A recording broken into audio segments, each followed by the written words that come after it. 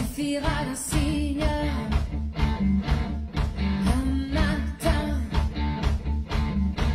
un matin tout tranquille et serein. Quelque chose d'un